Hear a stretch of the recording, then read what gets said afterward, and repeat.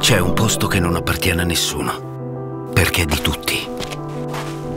Dove si incontrano i sogni dei ragazzi, si fanno canestri, gol e capolavori.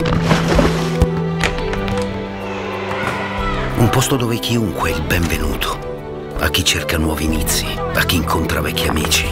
Un posto in cui si diventa grandi e si impara a fare dei propri talenti un sole che splende, della propria vita un'opera d'arte.